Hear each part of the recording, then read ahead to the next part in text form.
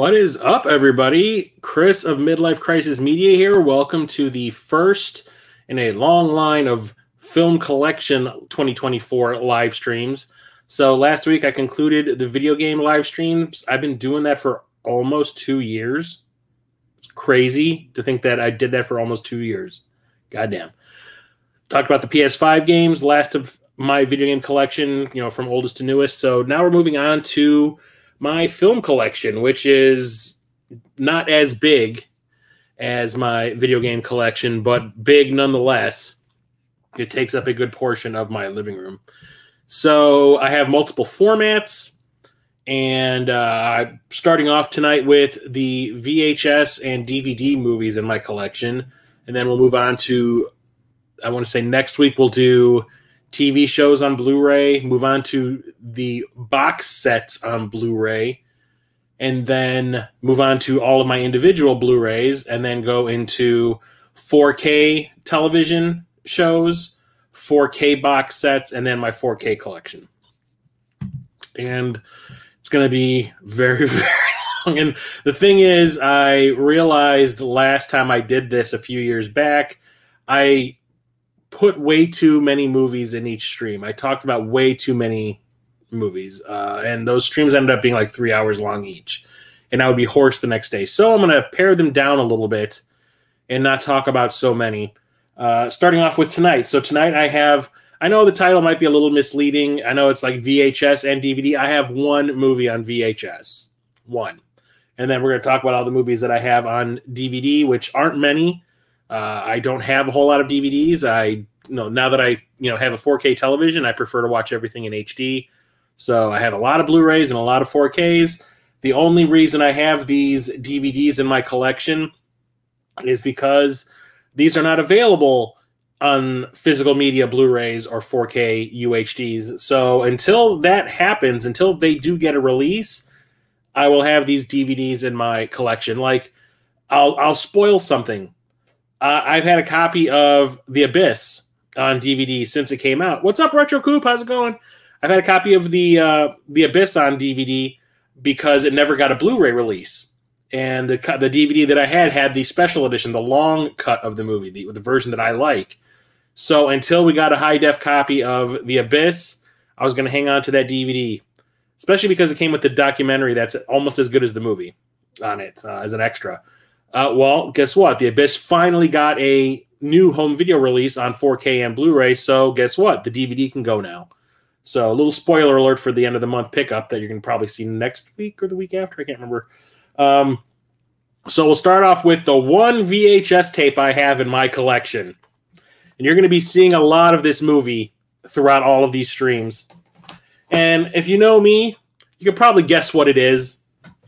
it is the clamshell edition of Tron, the original Tron from 1982. Uh, I have a Tron shrine in my living room. I have the movies, both movies, Tron and Tron Legacy, on multiple formats. Uh, I have comic books, books, storybooks, toys, soundtracks, uh, posters, signed, some not signed, uh, action figures. I mean, just everything. Uh, it's everywhere. I have uh, stuff from Monster, the company that makes computer um, uh, computer accessories. I have like a mouse and a, a, a, dock for my iPod, stuff like that. So one of my goals is to get at least one copy of Tron on every format that it was available on. That includes I'm trying to find a Laserdisc copy. I'm trying to find the SelectaVision uh, it's like a movie on vinyl, on a vinyl album. Um, Betamax, that kind of thing. There's two editions of Tron on VHS. There's this clamshell, which is the one that you would see at the V8 at the uh, rental shops back in the day all the time. Uh, and then there's one that has just a slip, the cardboard slip. So I made a real effort trying to find this one. Luckily, it was not expensive. I think I got this during the pandemic off of eBay for like twenty dollars, and that's not bad. And it came in great shape. I love the artwork. I think this was the Japanese poster art because the art, the artwork that we got in the U.S. was basically just that shot of Tron with his like hands on his hips, and he was like all multicolored. We didn't get. I don't remember seeing this poster anywhere in the U.S., but I do enjoy it. It's on the storybook that I have and a couple of other items that I have. Uh, yeah, you can see the artwork we got on, with Tron was this, the picture of him with the uh, his hands on his hips. And the VHS tape itself has a very long label on it that kind of goes past the little section where the label would normally fit. Uh, I have not watched it. I don't usually I don't usually have my VHS player. I still do have a VHS player. I have, do not have it hooked up currently. Um, but the tape itself is in great shape. It doesn't look dinged up or banged up. It doesn't look like honestly, it doesn't look like anybody's ever watched this. And it's not like only a section of the plastic of the case is a little bit yellowed up here, but the rest of it is still white. Uh, I'm super happy that this came in such great shape. So, because this is the version. No, I never did own this version. Like I said, this is the one that you would always see at the video shops and the video store that I worked at in the mid '90s did have a copy in the clamshell. So this is if I was going to get one on VHS, if I had the choice between this or the cardboard sleeve one, this is the one that I wanted. This one has the better artwork and uh, a little more substantial. And uh, then we're going to talk about the one single strange format I have Tron on currently. I'll be talking about these again in greater length when I do my Tron collection stream, which is going to be a long way down the road. Uh, but I, I did not remember that this was released on this format. I found it at Half Price Books, I think, just randomly. Uh, I was just looking at the games for this console, and I just happened to glance aside, and they had movies that this console can play as well sitting there. And I was just kind of like, oh, that. Okay. It was like five bucks. And that is Tron on UHD for the PSP. I did have a good number of movies on UHD, or sorry, yeah, UMD. Sorry, not UHD, UMD. I can't even remember what that stands for, though. Yeah. I don't remember. I did have a number of UMD films back in the day when I had my original PSP back in the was it the mid to late two thousands. Uh, I had Serenity. I had this. I had Escape from New York. Um, I had at least one horror movie. It might have been the Dawn of the Dead remake. I had like maybe ten movies on DVD or on sorry UMD that I would watch when I would go and do laundry and stuff like that. So really I realized that I was never going to actually sit down and watch them on UMD outside of like if I was doing laundry or something like that, or maybe on a trip. Uh, so once I got rid of my my PSP back in the day, uh, I got rid of every, all the games, all the movies, and everything. And when I got back into collecting, I was just kind of like, I'm just going to leave the UMDs out of it. I'm just going for the games because I have no reason to watch these except for picking up a copy of Tron. It does have a good number of extras on it too. You can kind of see them right there, but it even has the chapter select page inside, the little slip, and instructions on how to use a UMD, which is kind of awesome. But you can see the game, the movie right there. Keep wanting to call it a game. It's not a game. It's a movie. but had to pick that one up. And now we can get into the DVDs. So I have some weird stuff in here. Some stuff that is personal to me, like stuff that I did, stuff that I've made. Starting off with one of the training videos that I made for my my previous employer to the one I am at right now. Uh, and this, uh, when I made this in the late 2000s, I want to say like 2007, I did this, and it ended up going company wide. They used this as a training video for every facility in the company, and it's a big company. And that is this video I did called Five Steps to, or 5S, Five Steps to Success. And you can see the company that I used to work for up here. It went all throughout that company. And uh, this was made because the the guy that was in charge of the facility at the time was really into this organizational process called 5S, which he stole from Japan. This is something that's used all throughout Japan, especially in Toyota, which we heard about ad nauseum all the time. And it's organizational steps, five S's, and each step starts with an S. It was like sort. Oh Jesus, I can't even remember what they were. It's been so long since I did this. It's sort. Oh Jesus, something, something, something. Sustain. I can't remember all of the the names of the. It's been a while. I, don't even watch this thing anymore. Um, it took about eight months, I want to say, to make this. It took like a month and a half for us to shoot it, another month and a half for us to narrate it. I had to uh, get a specific person from within the the organization to show up after work to record dialogue for maybe a couple of hours, and it took forever to get this thing recorded, and then like another six to seven months to, or six months probably to edit it together. And we had like a premiere, and it went through the roof. We ended up having like multiple screenings of it in the in the building and then we made multiple copies. We like sent a master copy out to get duplicated and it got sent out to every single facility within the company. So yeah this is like probably the biggest thing i've done. You can see some of the people who were involved at the in the process on the back. It was not fun to make because there was a lot of uh, stipulations. We weren't allowed to do certain things. We couldn't film certain things uh, and uh, the budget was not high. Although I did manage to convince uh, the guy that ran the facility to buy me a Mac, like a, a, a really expensive Mac that was built for editing with two monitors and he ended up also buying a really expensive DV camera that was like one of the top of the line DV cameras for like home use. Uh, and part of my deal with them was to like once I make this video for you guys, because I'm doing it on my own time, like I'm doing it after work. I'm not doing it on work hours. I'm filming after work. I'm editing after work, doing the narration after work. Sometimes, if there was nothing going on in my department, I would go and do some work on the on the uh, movie. But uh, part of my stipulation was once we're done with the movie, those things come home with me, and I can use them for my own personal film projects, which I did quite a bit. I made my own. I made tons of stuff with that uh, the computer and until uh, I was let go. So, like I said, probably the biggest thing I ever did. And then we're going to move on to this big television box set. So I'm mixing all the television stuff in with the regular movies because I have so few DVDs in my collection that I just said, what the hell, just keep everything together. Don't separate everything like I do with the Blu rays and the 4Ks.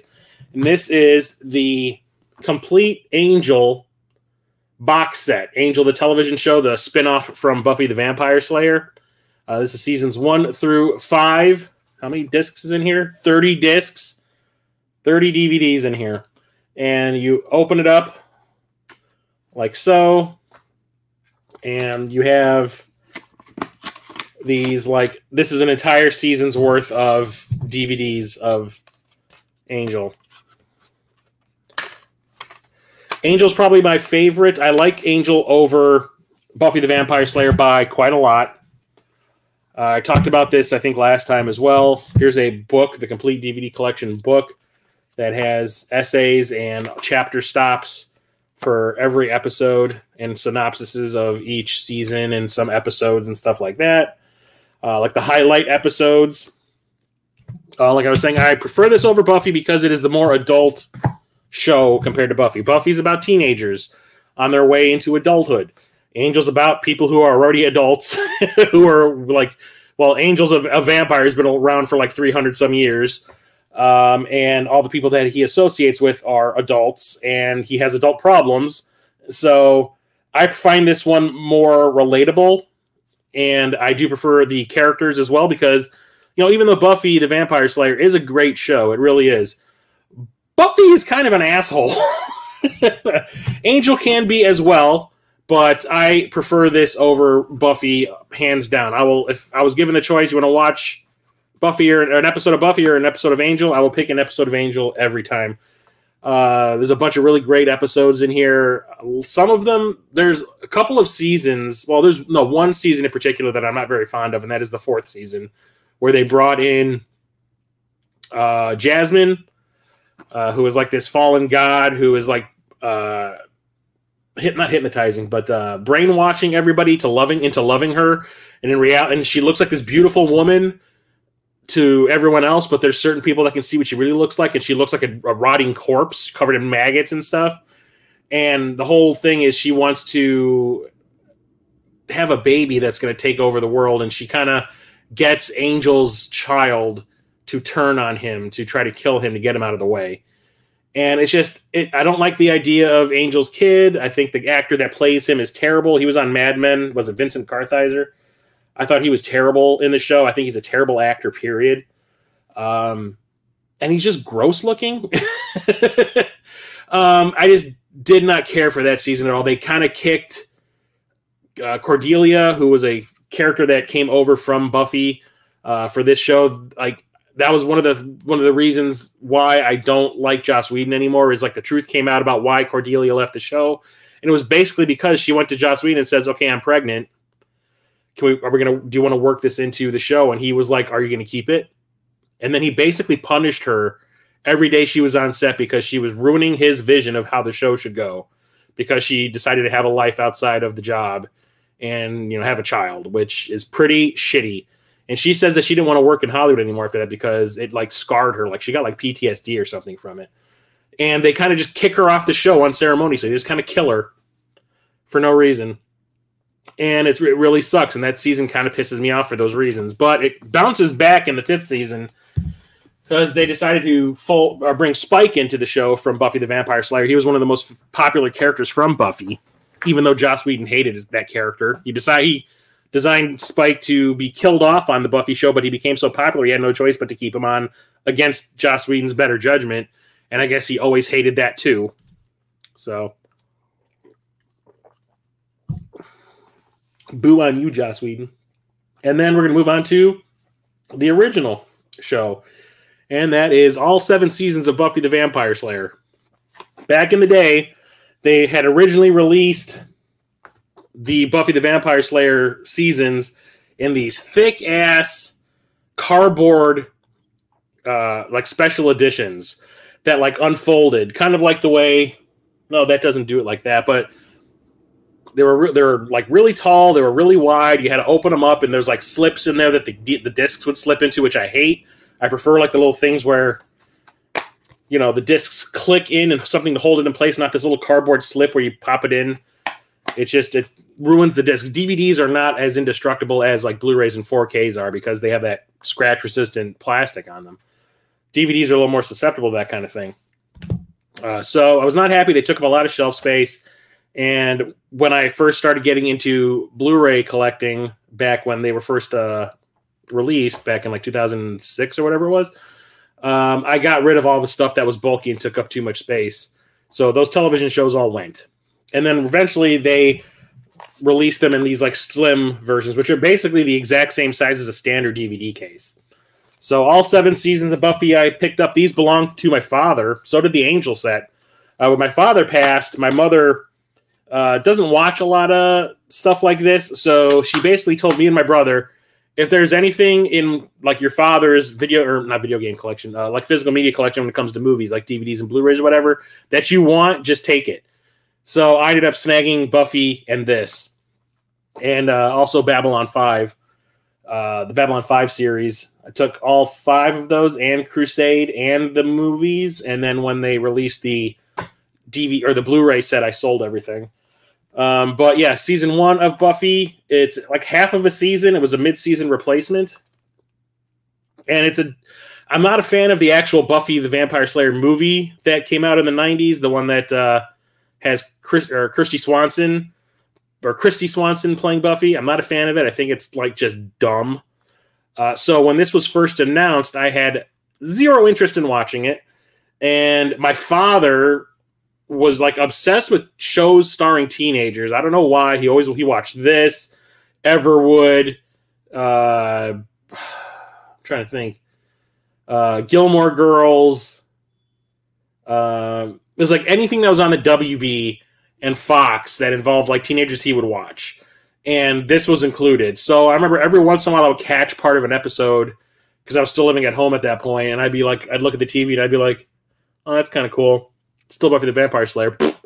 And eventually I sat down one day while we are eating dinner and I watched an episode and I was like, you know what? This isn't half bad. I really like that it's serious and has like jokey moments, but for the most part, it's like really well written. So I was like, hmm, maybe I should look into this a little bit more. So I watched a couple more episodes when they were being broadcast. And I was like, yeah, this is actually kind of cool. I'll go and pick up the first season on, on DVD. And if it sucks, I'll just sell it. Ended up really liking it. And then I burned through every season after that. So first season only has like 13 12 episodes in it because like i said it was a mid-season replacement but it gets all the main characters developed really well and sets up a really cool cliffhanger for season two so we got season two here which i still think is probably one of the best seasons of the show because it had the whole buffy and angel romance gone wrong uh, story thread that ended up like taking over the last half of the show because angel who is a vampire who has a soul. Vampires do not have souls. That's why they are evil. But Angel got cursed uh, by a gypsy, I do believe, to put his soul back into his body. So he is a vampire, but now he feels all the guilt of all the things that he had done over the centuries. And he ends up falling in love with Buffy. Buffy falls in love with him. They have a romance. But the thing is, the moment he has a moment of pure happiness, aka sex, his soul will leave his body and he'll go back to being evil. So it's like he can't enjoy himself. That's what the curse is. And sure enough, they bang, and he turns into one of the best bad guys they've had on this show. And it has like a heartbreaking final episode.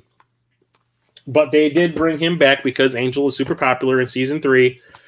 This is one of the other great seasons because they brought in Faith, uh, played by Eliza Dushku. You can see right there, who is basically the anti Buffy. She is an evil vampire slayer, and she goes off the rails. Eliza Dushku is so much fun in here, and I had not seen her in anything since True Lies. She played Schwarzenegger's daughter in True Lies, and I had not seen her in anything until this came out.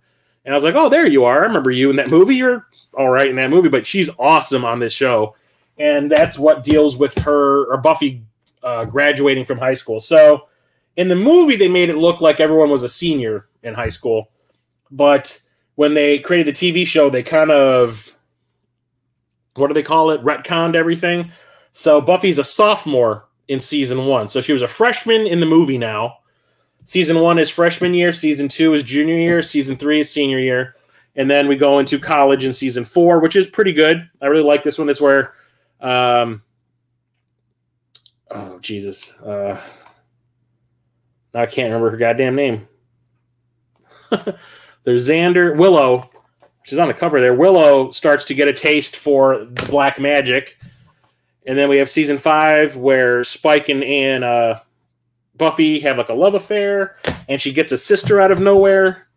Uh, season six is where Willow goes completely off the rails, evil for the finale of the series of the show, and it's great. And then we have season seven, which is kind of a meandering season where Buffy gets a job at the high school where the Hellmouth is. That's brings all the evil creatures to town um, as a guidance counselor, and it's okay, and it ends pretty well, I will say. But it's a really good show. But like I said, Buffy is kind of an asshole, and she just constantly does things to put her friends in danger. And it kind of makes her unlikable to me. I know everyone's just kind of like, oh, she's like this feminist icon. Yeah, she is.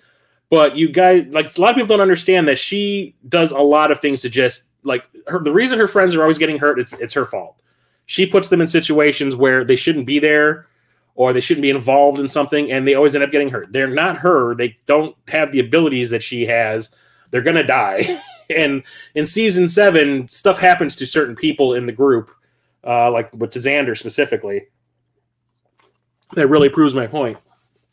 Um, next up, we have uh, this thing I picked up called Demon Hunters Dead Camper Lake. This was made by a bunch of students at a Lutheran college called, uh, they called themselves the Dead Gentlemen.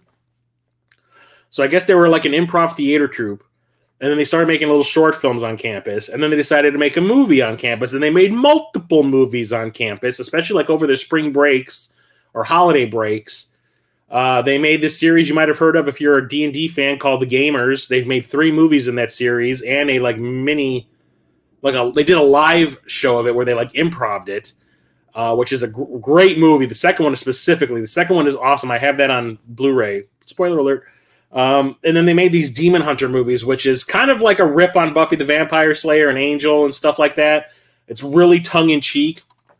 Demon Hunter or Dead Camper Lake is actually the second Demon Hunters movie, but as an extra, the first one is on here as well and it's they're okay. I wanted to support the guys because I like the gamers so much.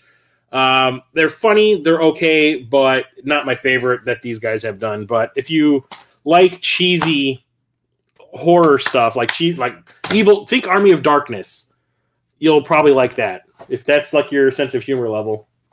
Here's another thing that I did. So back when I had that computer equipment and the camera that I had gotten from my employer for making that training video, uh, I entered a bunch of film races. And what's a film race? Basically, I did two of them. The first one was a 24 hour film race.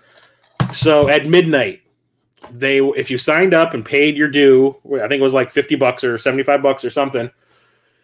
At midnight of the day that it would start, they would send you an email that had like a line. It would have like a line of dialogue. It would have a theme. Um, it would have an item that needed to make an appearance in your little short film. It couldn't be more than seven minutes long in the end. Uh, so the one that the first one that I participated in, I don't actually think I have on DVD. Uh, the first one I did was a 24 hour one. Like the special item that needed to be in there was a hammer. And I think there was a line of dialogue that needed to be in there. Like it doesn't get much better than that, I think was the line of dialogue. And in the end, I, after I turned it in, it got shown in an actual theater with all the other videos from all the other contestants, the other people that signed up for it. And it was really cool to see a movie, like a little short film of mine, actually projected in a movie theater on screen. It was fantastic. So it was a good feeling. So I did another one. This one is the I think it was a 96 hour uh, film race. Yeah, from 2008.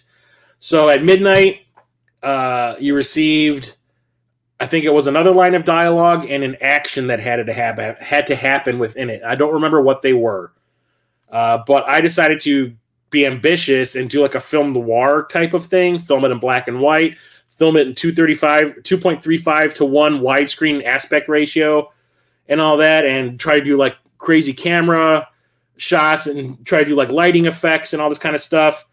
And uh, the way this one got uh, judged was everything was put on the website once everything was turned in.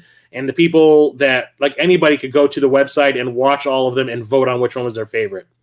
I did not place uh, very high. I think it was outside the top 10 but when I would watch the ones that were uh, in the top 10, it was the same people that did the ones that won in the 24 hour stream and, or the 24 hour contest. And their stuff felt like it was already pre made and they just inserted the things into it that needed to be there to qualify, which is kind of bullshit because I think that's cheating.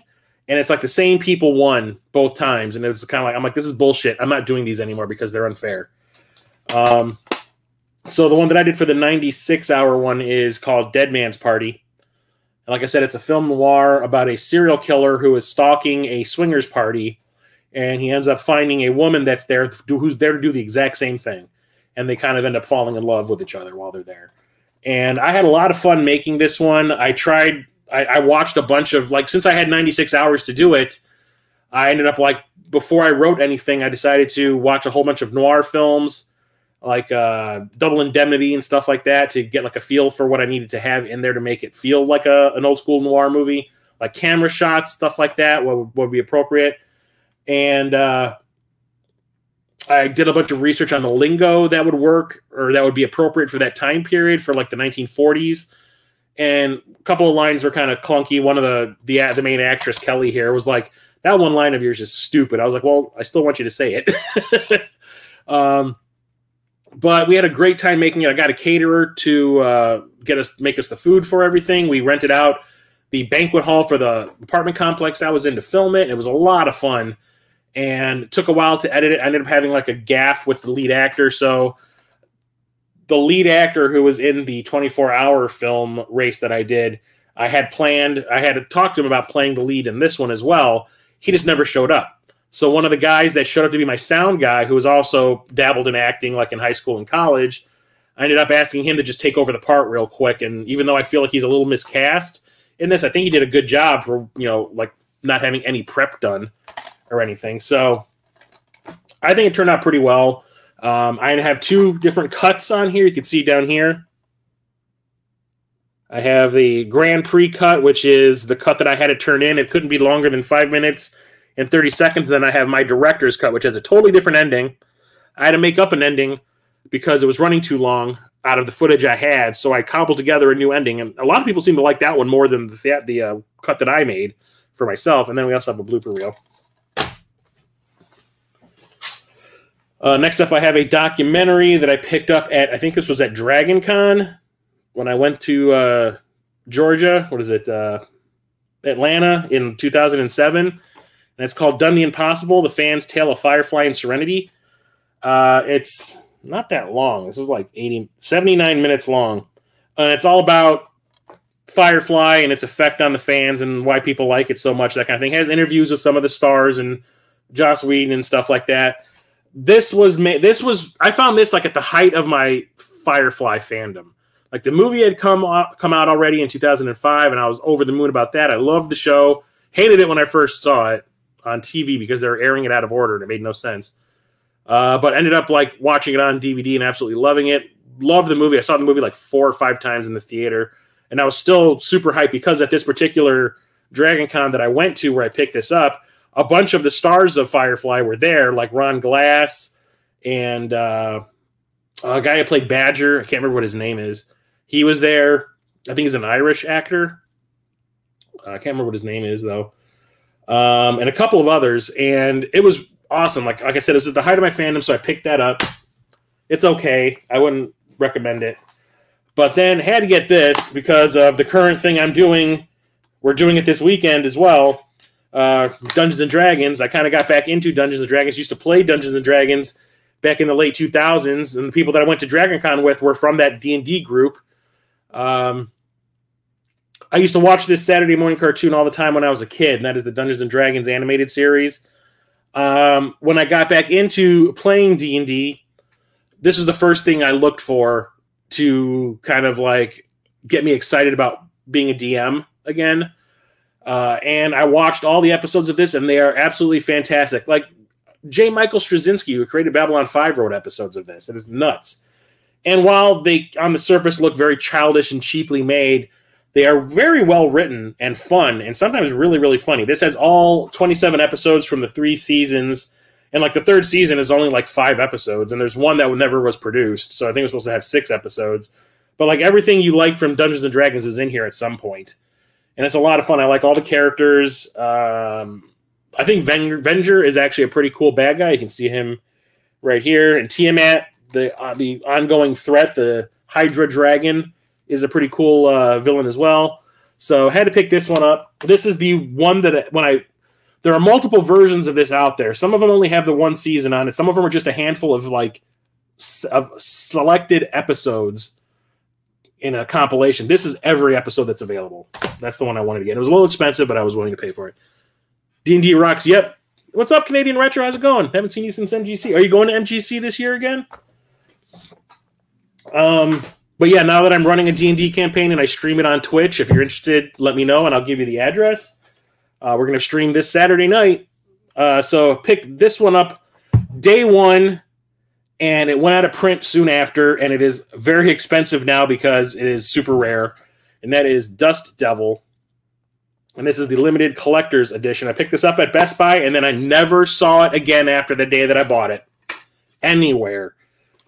Has four discs. So this is a movie by uh what's his goddamn name? Richard Stanley.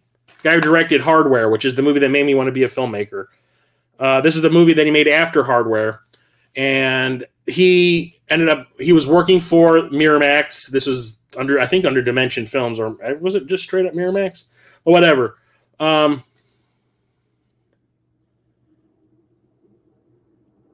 oh yeah, no problem, dude. I'll put it in the uh, put it in the chat real quick. Hang on, everybody.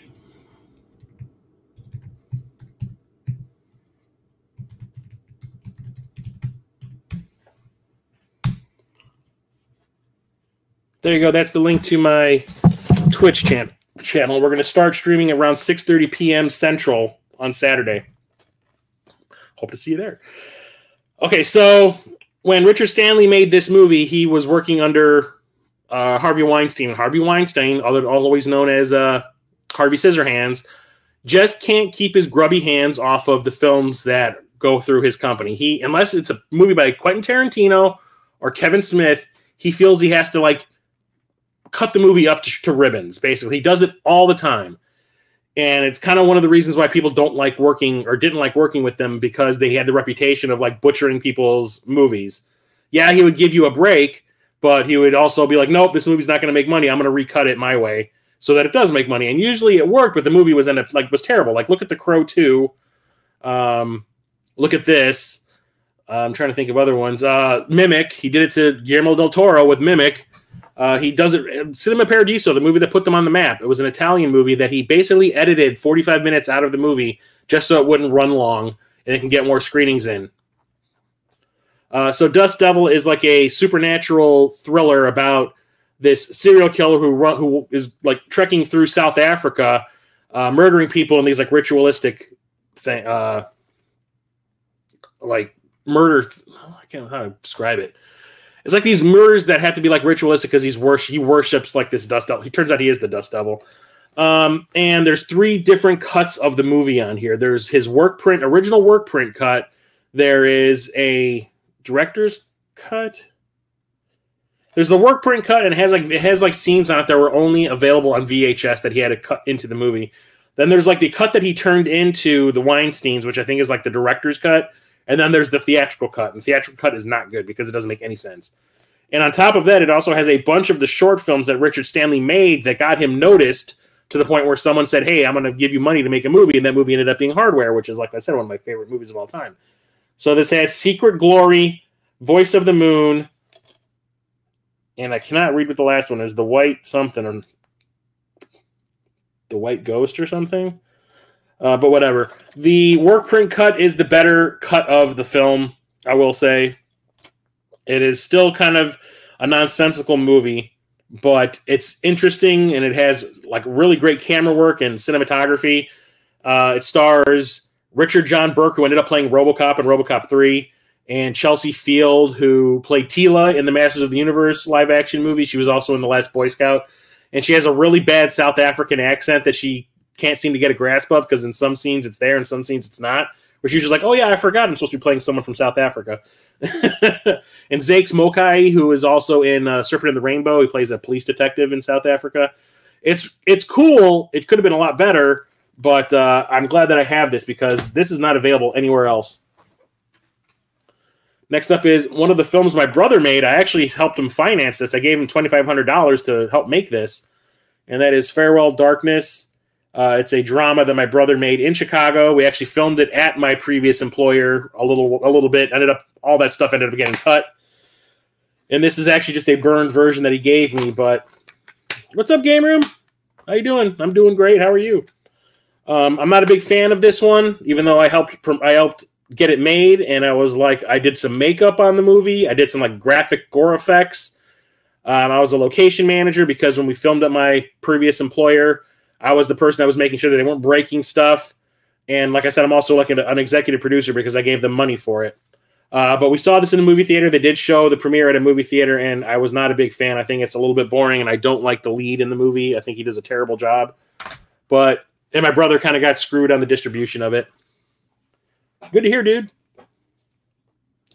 Next up is another television box set, and that is the Friday the 13th of the series, all three seasons, uh, and I don't know how many episodes are here, but this is like this weird box set thing that is still used today, especially for Blu-ray box sets for TV shows.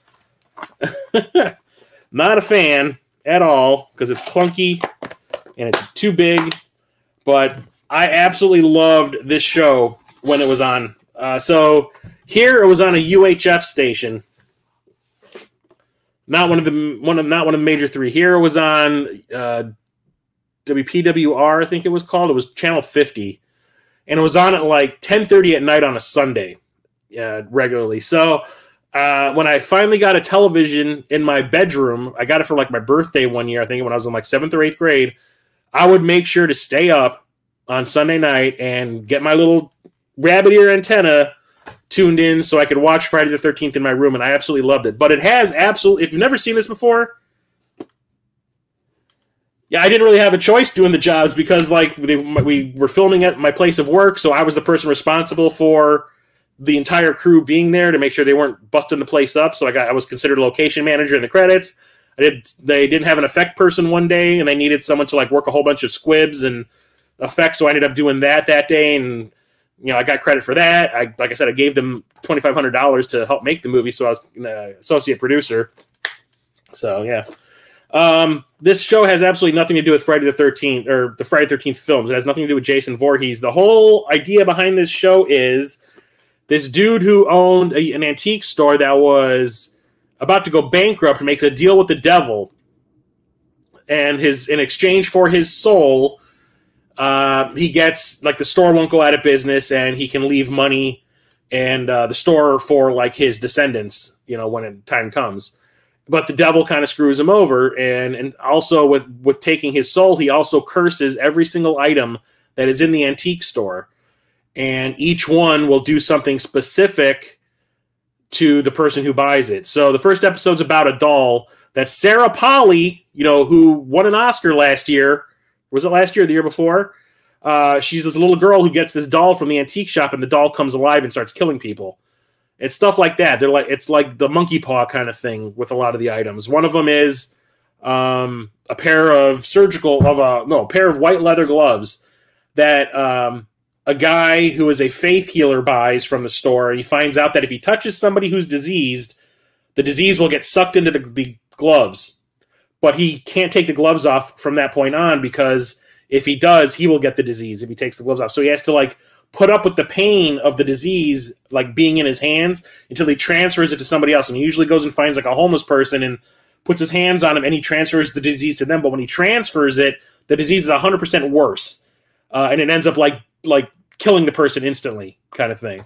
And it's, it's that kind of thing. And the whole idea is once the dude who owns the shop once he dies and his soul gets taken by the devil he leaves the store to his to his niece and his nephew and a friend of the dude who owned the store comes to help them reclaim all the items and like lock them in a vault so they can't hurt anyone else. It's really cool because each episode deals with a different item from the store.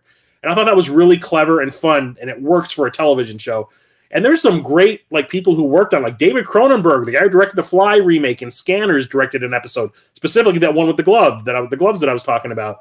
Uh, Atom Egoyan, who ended up becoming like an auteur director uh, in Canada directed uh, an episode of this. It's re- and there's a lot of stars who were like nobodies at the time. Like I said, Sarah Polley ends up you know being in episodes. There's lots of Canadian actors that you know now that were nobodies back then, and it's really a fun show. It kind of goes off the rails in the third season because you have the three leads. The male, the younger male lead, uh, John D. LeMay, decided to quit because he thought that he was too good for the show and he wanted to start making movies. And what was the movie that he made? Jason Goes to Hell. And it ruined his career.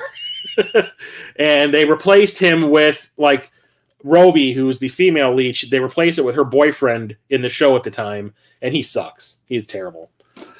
But it's a great show. I had no idea that the entire thing was available on DVD. I found this at Walmart. And I was super thrilled that I did.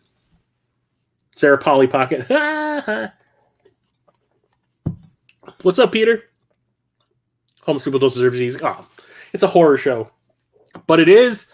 I will say this for a television show that was on like a UHF station, it was graphically violent. It was head and shoulders above anything else that I saw on television at the time. It was really pushing the limits, and I'm surprised they got away with most of it. But I think because it was being like broadcast like later at night, they got away with a little bit more than they normally would. Same with the Freddy's Nightmares TV show, which definitely needs to get like a DVD release. It is great. It's a great show. It has nothing to do with the movies, but it's great in its own right. Next up, I was talking about that Dead Camper Lake um, Demon Hunters movie. Well, these are the ones that got them noticed, and that is the gamers. So this is about playing D and D. So this is honestly just so the whole gamers thing deals with a bunch of people playing D and as they are playing it in our reality, we see the game being played with those same actors playing their in-game counterparts going through the adventure. This one is like a like I would say like a practice run for what ended up becoming the second movie, which is called Dorkness Rising. Um, and it's not long. I think this is only like 40 minutes long. And like I said, it's like a practice run where you see that there's the DM, there's the players. They don't really have personalities. It's it's basically like you hear the DM saying, "This is what's going on." You might hear a player say, "Well, I want to do this," and you actually see that same actor in character as their their player character doing that thing it's okay. It's not great, but like I said, for a starting point that ended up going into creating something better, it's worth it. UHF station, UHF, not Weird Al Yankovic's UHF. and like I have, I have Dorkness Rising on Blu-ray. I'll talk about that when I get there. But I also said that they did like a live improv version, and I found this also at what was this at Gen? Not at Gen Con. Uh, yeah, Gen Con. I found this at Gen Con in like 2013 or 2014. At uh, there was the Dead Gentlemen guys were in cahoots with the people that make Pathfinder, the the tabletop RPG Pathfinder. I don't know the Paizo, I think is the name of the company. They were like in with those guys for a little while because they were promoting their products. And this I found at the Paizo booth at Gen Con. And I was like, oh shit, I like the gamers. I'll check this out. So I guess they did this at Gen Con in 2012, and I had no idea that it was happening. I think I would have had to pay separately for it anyway. But yeah, basically what they ended up doing was they went they like all the actors from the movie were there, and they basically took ideas from the crowd, like as like a, at an improv show, and like, well, give me a character type and what their deal is, and then they improvised an entire campaign on stage in front of everybody, and that just sounded really awesome and fun. So I ended up picking this up. It's all it is pretty rad. But Dorkness it does not beat Dorkness Rising. Dorkness Rising is still the best one. This I had back in the day, and it's because it's the genre, the genre of music that I that I'm really into. And I ended up selling it, and it turned out to be really expensive after that. Like it ended up becoming like hard to find. Excuse me. Luckily, I found somebody slipping on Amazon store, the the marketplace, to get a new copy of it. That is in Gothic Industrial Madness. It's basically 40 music videos of Gothic industrial music. You can see them all listed here and I'm a huge fan of industrial music. That's like my chosen genre. Still to this day, got into it in the mid '90s, and I've never looked back.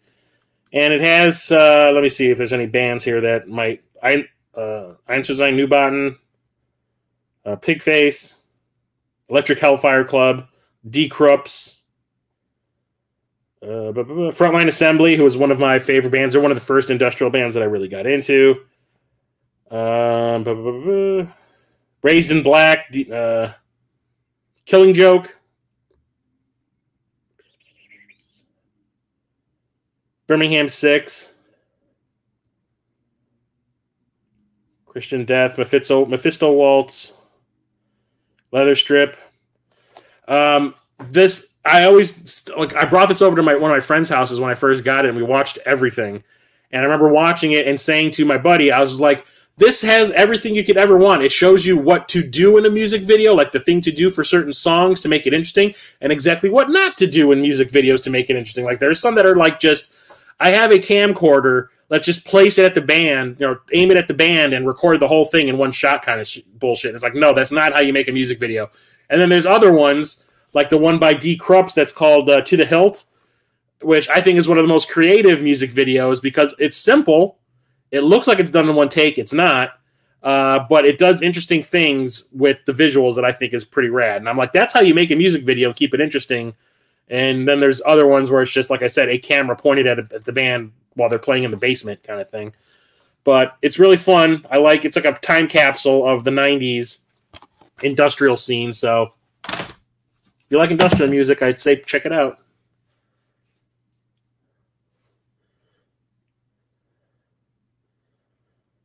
pregnant lines start jamming in the streets. No, it's not like that. Industrial's like Nine Inch Nails, and uh, like I said, Frontline Assembly, KMFDM, my favorite band of all time, KMFDM, that kind of stuff. Um, had I the the first movie in this series is finally getting is getting a UHD or sorry a UHD uh, U yeah UHD a 4K release. Stop saying UHD 4K. The first film in this series is getting a U. I almost did it again. A 4K release and it's getting like the director's cut that we've never seen over here in the states. I prefer the second movie, and it has not come out anywhere except on DVD, so I'm not getting rid of this until it comes out. And it's based on an anime that I love, and that's The Guyver 2. If you've never seen this movie and you like superhero movies and sci fi movies, definitely go and check this out. It is freaking fantastic. So, the first movie came out, it lied to everybody it's like Mark Hamill as the Guyver. He's not playing the Guyver. He's playing a freaking detective. The Guyver is like some teenage kid in the movie, Guyver is basically like Blue Beetle. Uh, it's a set of alien armor that came down and latches onto a person, and whenever he needs to do some fighting, it pops out and covers him and makes him a super awesome kung fu fighter that can not be killed. And he has like a nuclear reactor in his in his man packs. There's blades that come out of like his his elbows, and he's like a martial arts master. And it's it's a really cool anime. I love the anime. The first movie was made PG 13, and it just feels real sterile and kind of cheap. This one came out of nowhere. I had no clue that this got made. I went to the local blockbuster one day and this was sitting on the shelf and I was like, "What? Where did that come from? Did the first one was the first one that popular that it got a sequel?" Well, apparently this had half the budget, and but it's twice as long. This one is over two hours long, and it stars uh, the dude who is the voice of Solid Snake in the Metal Gear Solid games, uh, David Hayter. He is the lead in the movie. He is the Guyver and there's no and Kris Kristofferson's daughter is in this, and I think she's they're the only two people that you might recognize. Um, and this one is rated R, and it is a hard R. The fight scenes in this are absolutely insane. The guy who directed this movie directed a whole bunch of episodes of the Power Rangers TV show, and it shows because the stupid stuff that people were doing in the Power Rangers show, all the stupid hand movements that make no sense. Uh, it's in there, but then all of a sudden gets someone gets their neck broken and blood just shoots out of their mouth. Or someone gets their head stepped on and it explodes all over the camera. It is graphic as all hell but it is super super cool and fun. I absolutely love it. I will not get rid of this until we get a 4k version. Uh, i highly recommend it too. If you like a good old-fashioned martial arts movie this is awesome. And the coolest part is there's a fight scene that happens in the middle of the movie between the Guyver and a bunch of the Zoanoids, who are like the, the villains of the show of the anime that recreates scenes from the opening title sequence of the anime, and it is super cool to see it happen in live action. I love it. It's absolutely fantastic.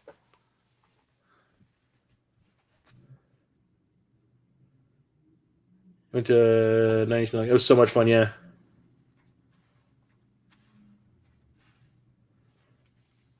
Hey Peter, did I make you a mod? Yeah, I did. You want want, want to do something here?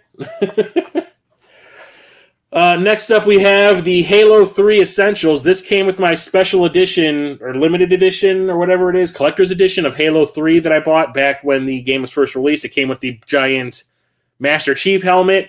The Chief helmet comes off of its base, and inside was uh, this DVD and what was it? A bunch of like cards and stuff like that, and the game. Um, I've never actually popped this into my DVD player. It has Essentials Disc 1 and 2. I'm assuming it's just documentary stuff about the making of the game and all that. But like I said, I've never actually popped this in. It comes with a book. It comes with two books, actually. Yeah, one is a comic book. And the other one is stuff about the game. It's like how your controller works. And also like a poster that has the Arbiter and Master Chief.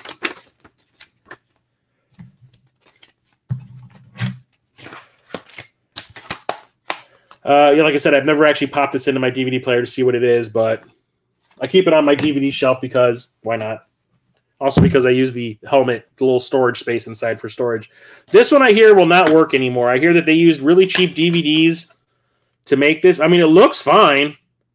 It does not look like it's damaged in any way. It doesn't look like it has any kind of disc rot or anything like that. But I hear from lots of sources that these things were made so cheap and then the discs ended up just deteriorating. You can't watch it anymore.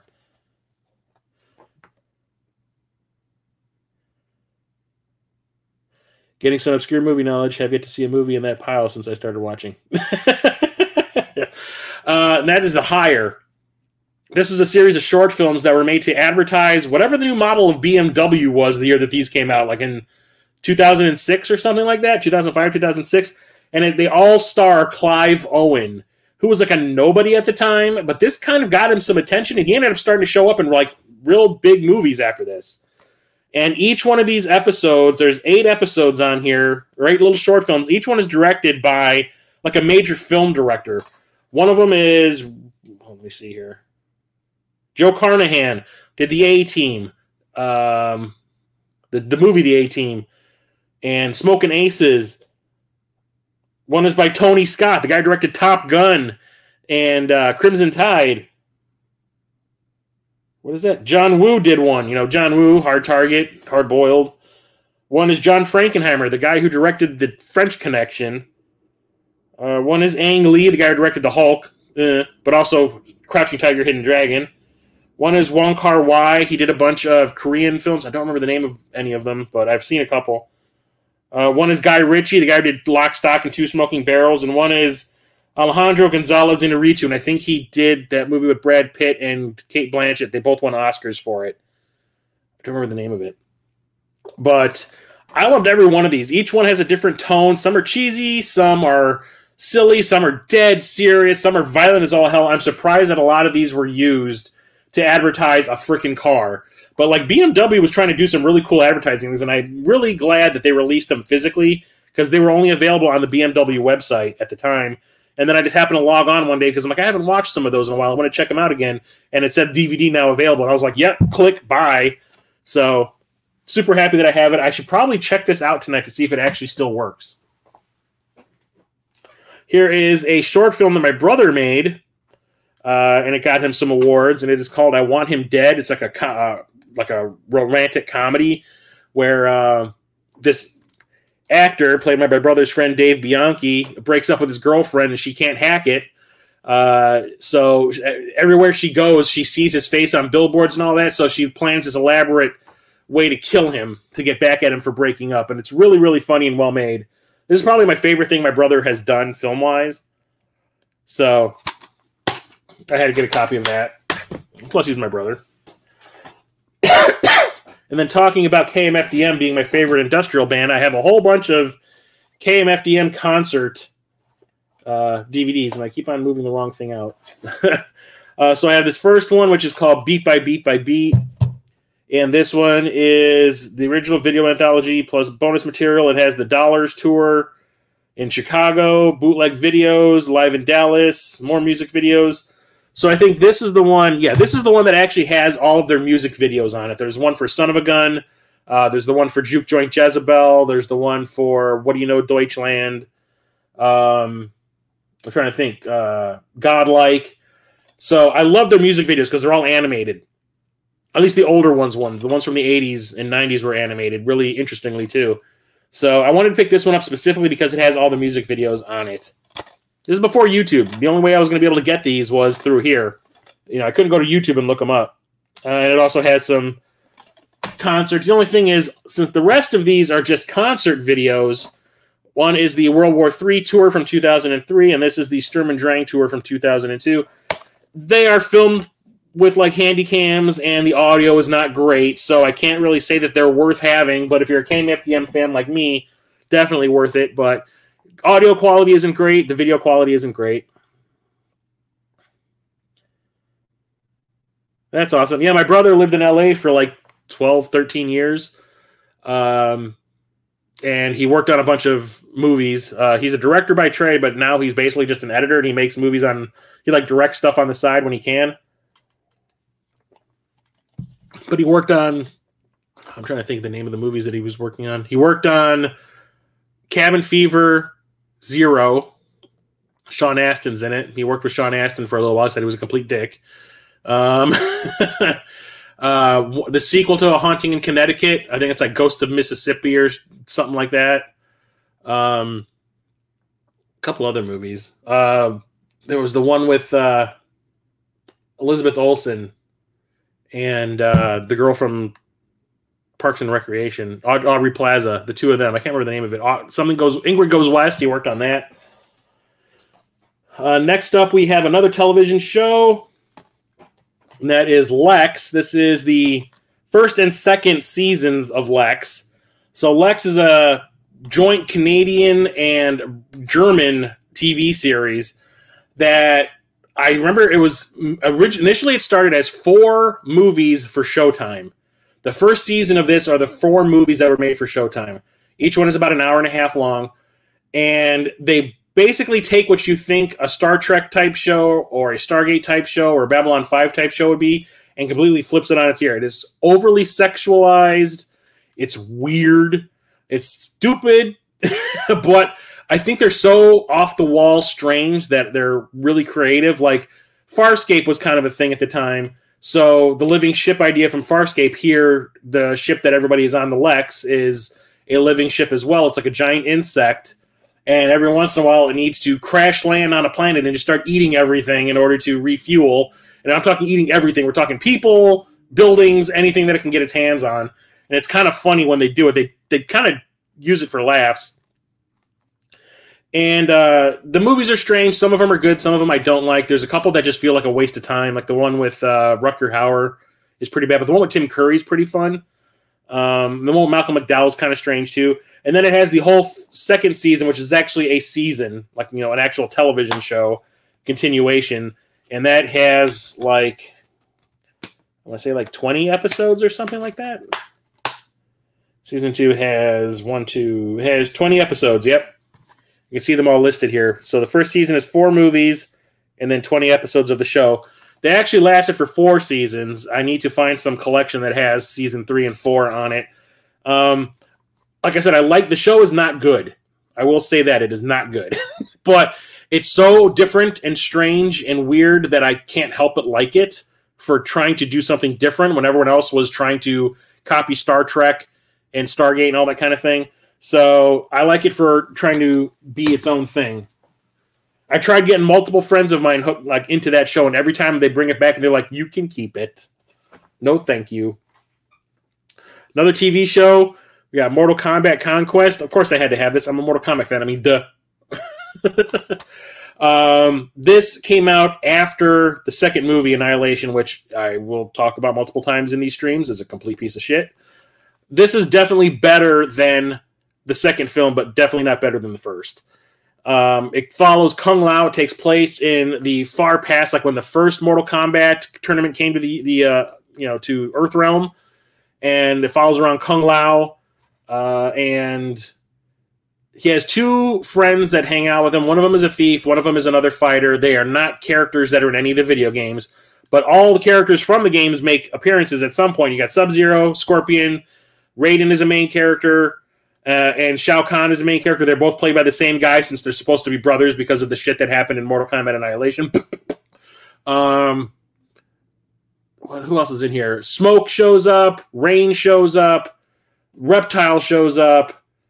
Um, trying to think. There's also a bunch of characters that they made. Shang Tsung is a major character in it. Um, they also made up a bunch of characters like Kreeya, who is like this princess in Edenia. Um, then there's a sorceress girl who shows up once in a while too. I can't remember what her name is. It's been a while. But the show is actually pretty cool. The fight scenes are pretty well made. There's a fight scene at the end of the pilot episode that has some of the coolest wire work I've seen. Like it's better than it is in the movies.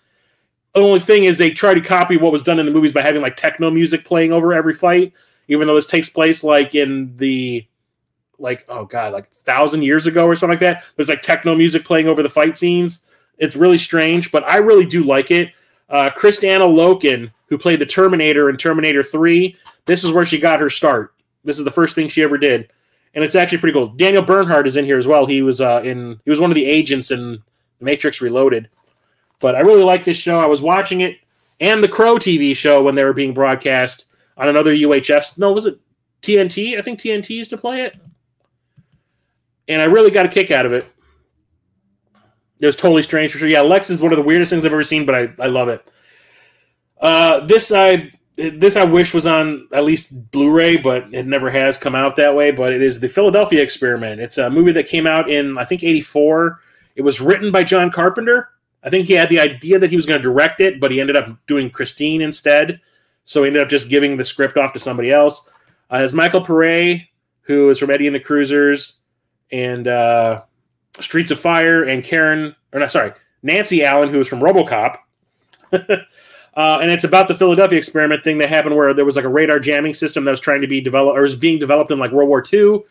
And it was a failure in reality. In the movie, it actually cloaks, physically cloaks a battleship.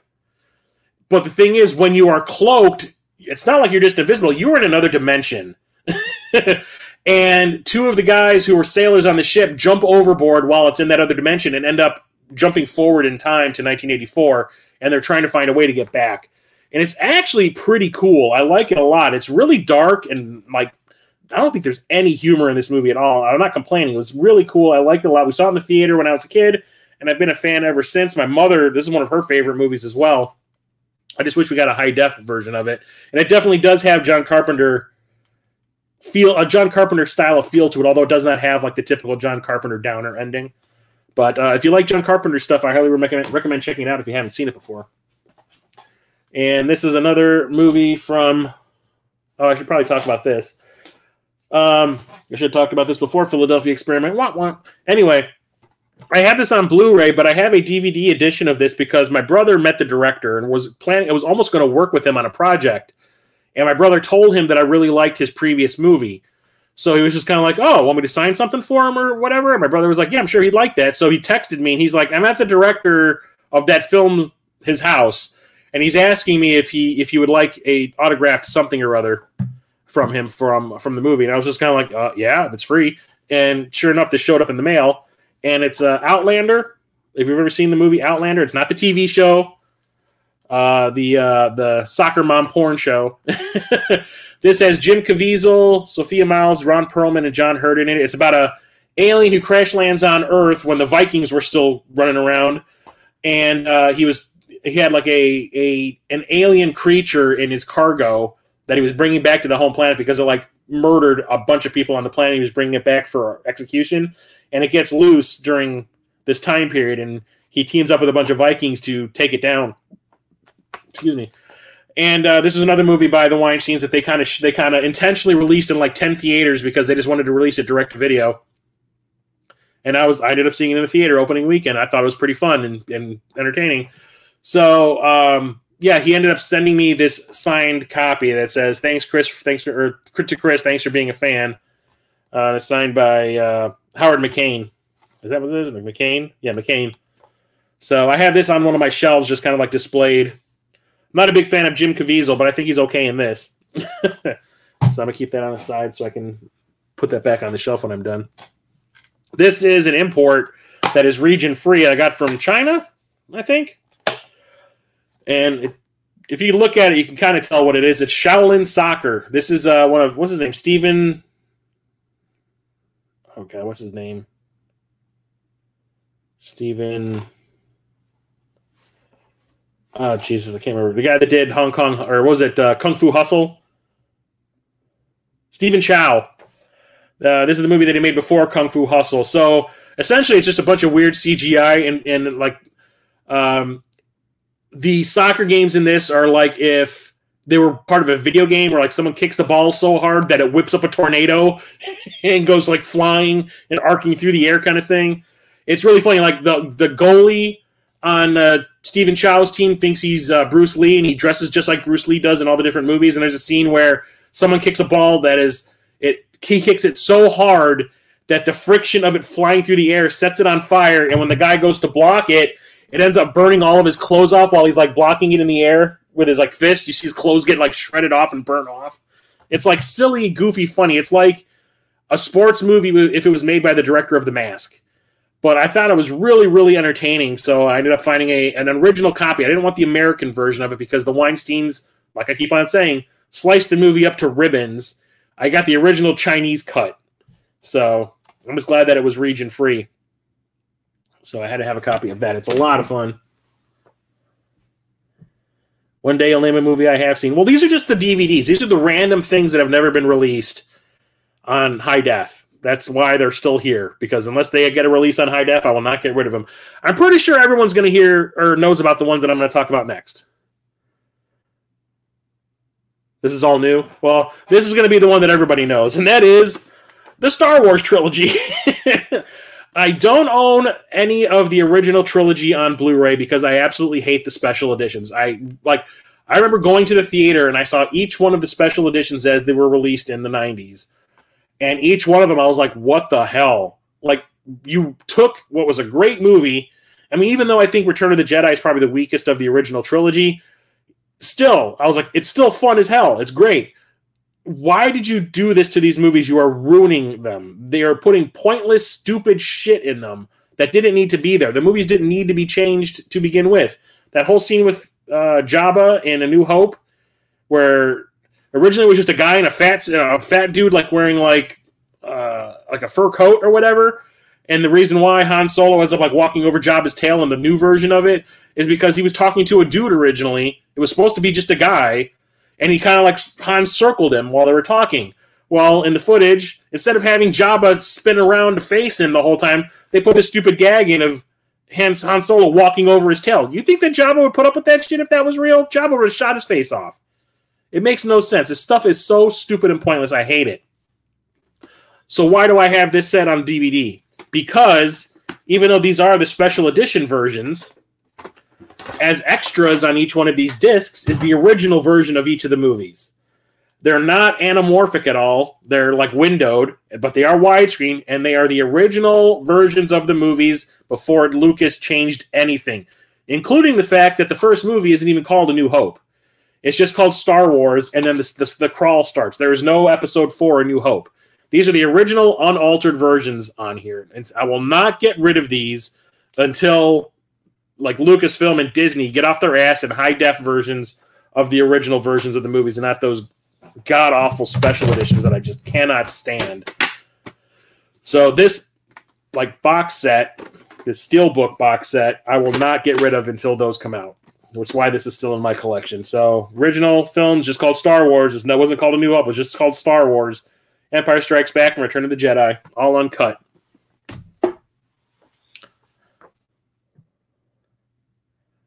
They made Jabba smaller in A New Hope. Yeah, well, he's supposed to be like younger or whatever, but it makes no sense. None of that makes any sense. All that stuff that they put in makes no sense.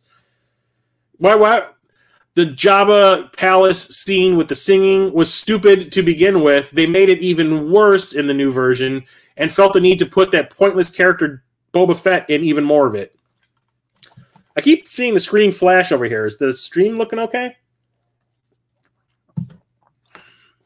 I hate it. I hate it, hate it, hate it. Speaking of Star Wars, one of the first projects that I ever did film wise, uh, when I actually, instead of making like stupid little, like, until 2002, all the movies that I had made were made with like a handy cam, not gonna handy cam, but like my dad's old VHS camcorder and like this PXL 2000 thing my parents bought me and my brother for Christmas one year. That was from Fisher Price that ran on high bias audio tapes that filmed everything in black and white and it was all pixelated and all that. We made stupid little dinky movies with no scripts. We just made it up as we went. Everything was ad lib kind of thing. We never had any kind of scripts for any of it. Uh, and then we made like I made a fan film for Shadowrun with my dad's VHS camcorder that we kind of sort of scripted, but it was mostly based off the Shadowrun Super Nintendo game even though we never actually beat the game, we based the movie off of it and made up the rest of it since we hadn't seen the ending yet. Oh, it's okay. I can't see what that is, Peter. The little symbols just show up over here. There's some buffer. Yeah, it keeps flashing over here. I don't know what's going on. Um, anyway, one day I decided I've been watching a bunch of Star Wars fan films online on the uh, StarWars.com website, I think it was or no, the Force.net. The Force.net had a big Star Wars fan film community, and there were some really good ones being made. And I was just kind of like, well, I have a brand new computer. And like so, in 2002, I bought a brand new Sony Vaio that was like the top of the line Sony Vaio, and it could do all the editing stuff. I just needed to get some of the software and get a camera and all that kind of stuff to to do something. And I was making plans on making something. I didn't know what it was going to be, and then I started watching all these fan films. I'm like, you know what? maybe this will be something to get people excited to to make a film with me. So I'll do a Star Wars fan film, and I only wrote it as one movie. And then when I let everybody read it, they were like, "No, you need to continue this and make it into like a trilogy." I was like, "I don't want to do three of them," and they're like, "No, dude, like you really need to expand on this because it has a lot of potential to go in different directions." I'm like, "Okay," and I did. I ended up making three scripts that went through multiple multiple versions. Uh, and in 2002, we shot Star Wars Pathways Chapter One: Path of Betrayal and I will admit, it is not good. This is the first thing I did where I was like trying to be serious about filmmaking. Like, I went and like read a whole bunch of books on what you needed to do and found as much equipment as I possibly could to make things look professional. Like, uh, I, I met a dude on the Force.net forums that like didn't even know me. Like, we had never met before, and he was like, "Yeah, I'll give you my camera." he had like a really expensive, like three thousand dollar DV cam that was like professional grade and a professional grade uh, tripod and a professional grade dolly that the tripod would would connect to for no money. He was just kind of like, "Yeah, your, your project sounds pretty cool. I'll, I'll if you want, I can loan you the, the, the camera." And I was like, um, "Okay." and sure enough, he did. And as a gift, I or as a return, I gave him a part in the third movie. Um, but yeah, like we made this in two weekends. It was like the Saturday and Sunday one weekend. The next weekend we filmed it in December. Some of it was filmed outside in like negative degrees. Like the costume of my buddy Justin ended up sticking to his body. It was so cold out. Uh, and then yeah, we made two more. We filmed the second one. I have a version of it available in rough cut form on my YouTube channel here. If you go way back to the beginning of my YouTube channel, you'll see the rough cut of part two. Part one is still on the Force.net's website. It's still out there. Uh, and the third one we couldn't finish filming because just as we're about to wrap up uh, the end of the movie, like the final fight scene, which we've been prepping for for about a year, uh, the lead actress hurt her back at work and she couldn't continue. So like the movie never got finished. Eventually, I'll edit the, the some of the scenes together. I've already edited together one scene. If you go way back on my channel, you'll see a fight scene from the third one, which we are really proud of. That took us like a year and a half to choreograph. But like I said, this one is not good. This is the warm up. This is like the setup for everything that's going to happen in two and three. It's just very basic. Uh, it only has four characters. Each one after this got bigger with more characters and more plot lines. Um, but like I said, you have to start somewhere. I learned a lot making this. I learned what to do and what not to do, and how to talk to actors, and how to work with special effects, and how to wrangle special effects people and get crews together and like how to manage your money and props and costumes and all that kind of shit. So I learned a lot making it. It didn't end up exactly the way I wanted it to because of inexperience, but I like to say that they got better as we went. And like I right nowadays, I'm pretty good at what I do. It's a pirate flag. The video is freezing. I have it plugged in through the uh, uh, Ethernet. Excuse me.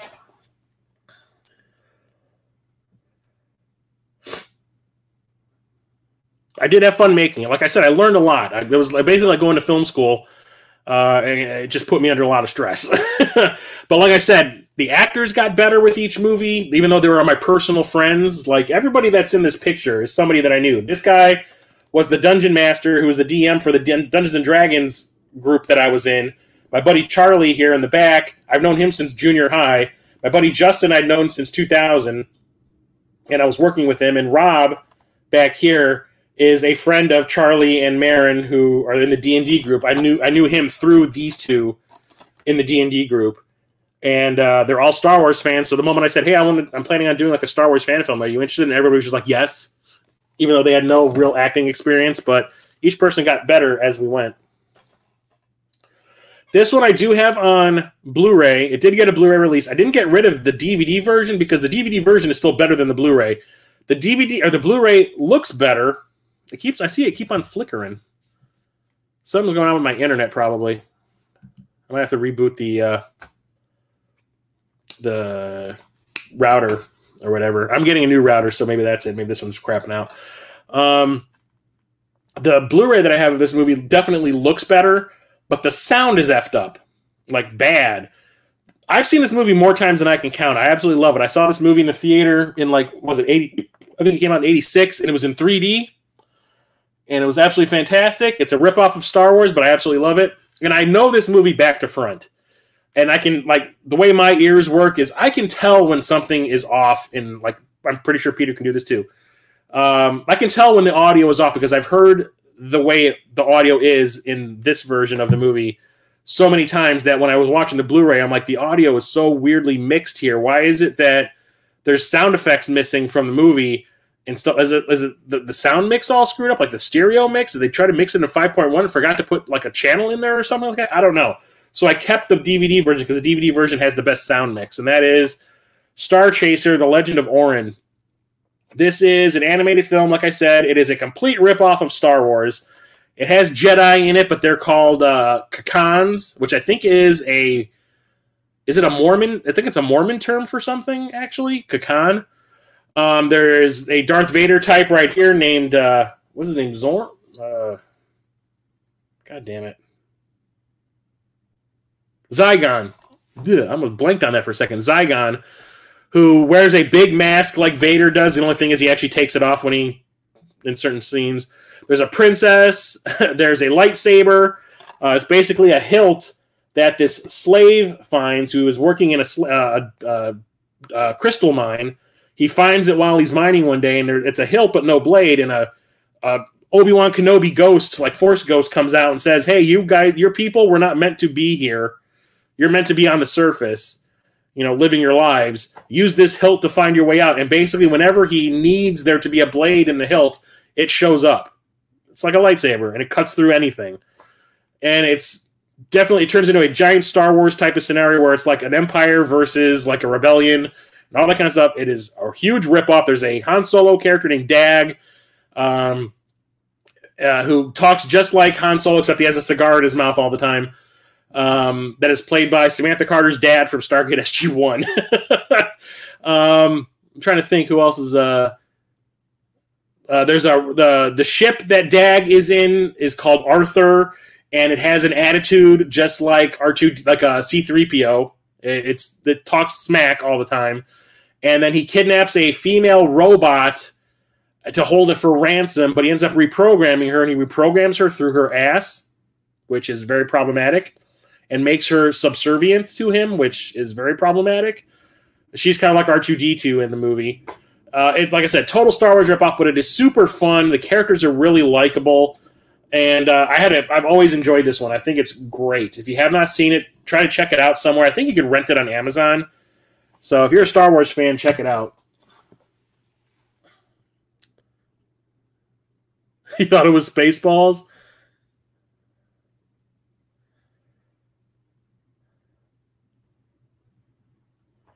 For some reason, that does not seem like something in one of those piles, but it is one of the few Blu-rays that you want. Star Star uh, Star Chaser. It is on Blu-ray, like I said. It's just like I said, the sound mix is all effed up. This is probably the newest DVD that I bought. It's still sealed. Uh, actual movie. And it's called The Station Agent. This is the first thing I ever saw Peter Dinklage in. Um, it's like a drama comedy, I guess. Oh, Spaceballs. I do have Spaceballs. It's on 4K.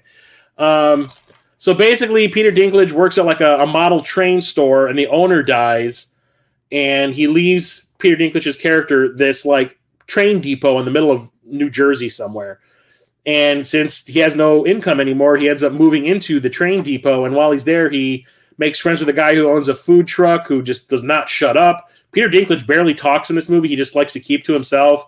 And then there's this woman who shows up to the uh, food truck to get coffee all the time who was like going through like grief because her I think it was her son died, her husband and her son died, and they all kind of become this like weird family unit. And I really, really like it. It's really well written. I love all the characters. It's so good. Never been released on high def in any way. So the only way I can get it was on Blu-ray, and I found this on Amazon for like five bucks. So I was like, you know what, might as well.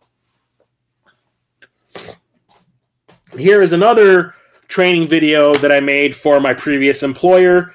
This is the one that I had. This out of all the film projects I've done, all of them, I think I had the best time making this one because where I told you I had restrictions when I made that 5S one, we were not allowed to swear. We had to hit certain like points in the movie. We had to keep it dead serious the whole time. There could be no humor, even though I did insert some humor into the end credits with like bloopers and stuff. Um, and like we needed to keep it serious because the idea was we were going to distribute the movie company wide like it went through all of GE. This one was specifically for our site and I was told by the guy who ran the facility since this one is going to be specifically for our site, we can do whatever the hell we wanted as long as there was no sex in it. It was basically the way he worded it. You can do whatever you want as long as there's no sex. We could swear, we could show violence, uh, we could do crazy stuff in restricted areas if we wanted to, as long as we got the point across and it wasn't too far off of, you know, off the rails, it was going to be okay. So I made this, and like I said, it was the most fun I ever had in a film project. It's called Swims, a mockumentary. Swims is an anagram of a way that you, because the place I worked at, we were working with radioactive materials. It was like radio pharmaceuticals. Uh, it's a way of when you find a spill, how you deal with it. Swims was like uh, deal with self, deal with yourself first if there's a spill warn other people uh, about the spill, investigate, find out where the spill came from or what, what happened. Minimize is clean it up, and survey is make sure that there is no lasting effects. And uh, it was made up by one of the guys who worked in the health physics department, this anagram, and they wanted to use it as a training tool to train other people in case this we did have a spill of some kind. So we ended up making it like a, a mockumentary, since a lot of the people that were in this were in a band outside of work, and we decided to like make it like Spinal Tap. so that's why it's a mockumentary. So it's about a rock band who sings about radioactive accidents. and their newest song is Swims, and it's all about the process of doing this thing. And like I said, we went off the freaking rails. We show people getting into fist fights in restricted areas.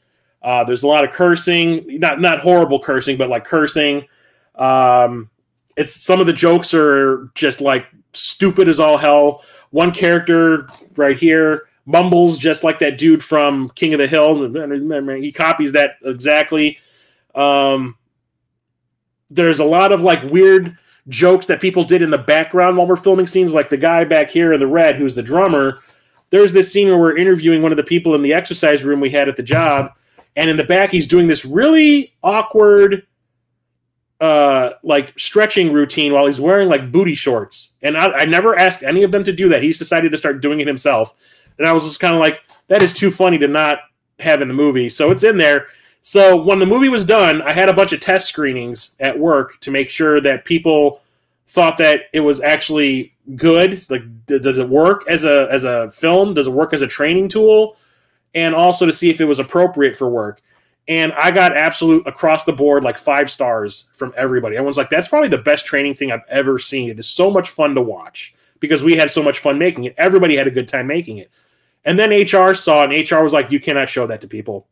Absolutely not. You're showing people fighting in the restricted areas and stupid stuff like that. And I'm like, yeah, but the reason they're fighting is it causes a spill. And then we go into the whole thing, the whole point of the movie. And they're like, no, you can't show that to anybody. So it never actually got released, but everybody in the facility saw it because of the test screenings that I had. but no new employees ever saw it. So absolutely loved making that one. I have such great memories of that. And here's another movie, and that is Time Code. Time Code is an experimental movie by Mike Figgis, who did One Night Stand, and I think it was Leaving Las Vegas. I think he directed Leaving Las Vegas. Um, so the whole idea behind this is you're watching four movies at the same time. So you see the way the screen, this picture is, where it's like the four different color pictures are split up like that. That's what the movie looks like while you're watching it there's four people being there's four cameras running at the exact same time following a bunch of different characters and at during points in the movie they cross paths and stuff like that it's like a, a dark a black comedy drama kind of thing it's about a bunch of people that are working for a movie company and there's like characters that are having affairs with each other and other stupid shit going on and it's really interesting it's like like i said it's very experimental like nothing had been done like that before that I had seen. I saw it in the theater and it was like kind of mind blowing, honestly, that like it worked. Uh, it has a great cast. It's got Saffron Burrows, who you've probably seen in like she was in the Wing Commander movie, Deep Blue Sea. Uh, Salma Hayek, Jeanne Tripplehorn, who was in Basic Instinct, Stellan Skarsgård, Holly Hunter, uh, Steven Weber, uh, Danny Huston, who you probably he's in the new Crow trailer. He plays the villain in the new Crow trailer for the the new remake that's coming out. Um, I'm trying to think. There's uh, the guy who played the Warlock. Uh, Julian Sands is in it. Um, trying to think if there's anyone else that I recognize.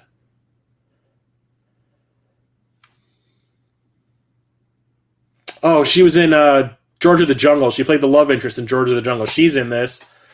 Uh, but whatever. It is really interesting, and I I remember like I would watch this like once a week when it came out on home video because like for some reason watching the four different things the way it works also is it's not like you're listening to four movies at the same time. It's not like everybody's talking over each other with the four different movies. If there's one of the the the, the panes of information that you need to focus on, the audio will lower the for the other ones, and you'll just focus on one for a while because like oh the affair thing is happening right now. You need to pay attention to that and stupid stupid shit is just happening in the other ones that you don't really need to. But there's an extra on here where you can control which one of the panes you want to you want to listen to. So you can control which one, and it's really interesting. So also, um, they filmed the entire movie at once with four different cameras. Everything was like timed up, and they have the first version of that happening where everything is completely different. Characters are got moved around by the you know as they went, and the final version is the one that's in the movie. The final uh, time they did it. It's really interesting and really cool movie. I really like it a lot. It needs to get a high def treatment.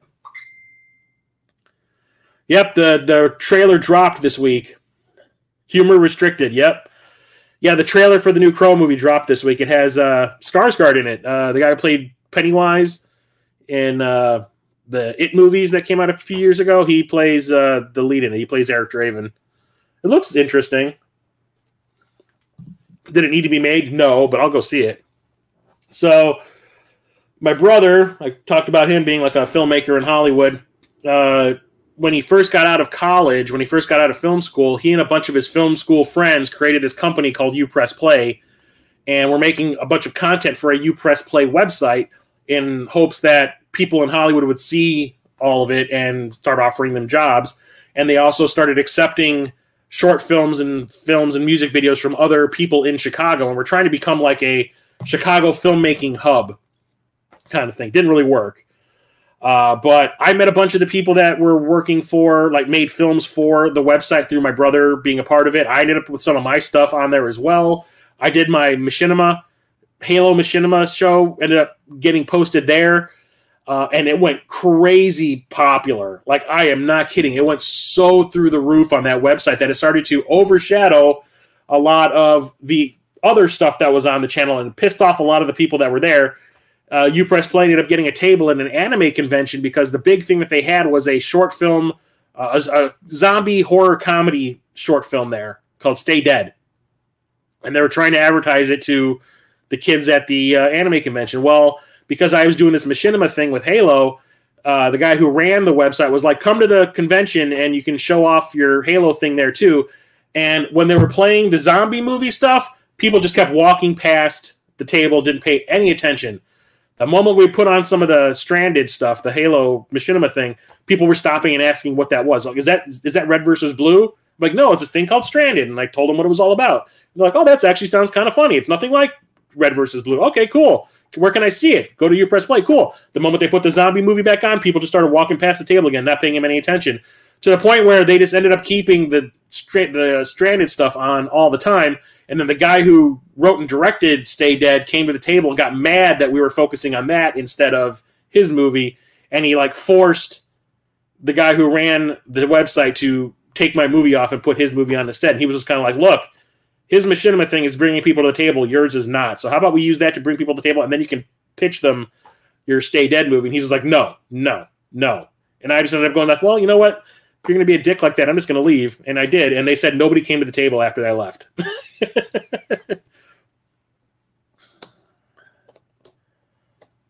yeah. So um, this these are two compilations of the things the, the the short films and music videos that were on the UPress Play website back in the late 90s and early 2000s. So I have the UPress Play Volume 1 and UPress Play Volume 2. And you could only buy these from the website at the time, but since my brother was like a co-founder of UPress Play, I got these for free. So the first one has that Stay Dead movie that I was talking about, the zombie comedy, which is actually really funny. Uh, Behind the Werewolf, which is like a mockumentary horror thing. Caleb's Cube. Uh, Court Jester is the band. My brother directed a music video for this band called Court Jester, and that's them. It's uh, the song is called uh, what is it? Stand Stand Up is the name of the song. Court Jester's name of the band and Die the Sky, which I don't think I've actually watched. So it's got five different things on it. And then volume two has Two Days in Limbo, which is the World War II short film my brother made as his final for film school. Uh, Roscoe Village, which is a pilot for a proposed TV show that takes place in Roscoe Village, which is like a town in Chicago or like an area in Chicago, like a village, I guess you want to call it, or whatever, a neighborhood in Chicago, which is actually kind of funny. Uh, Back to Reality, which is another one of my brother's short films. Soldier, which is another one of my brother's short films. Terror Vision, and what does that say?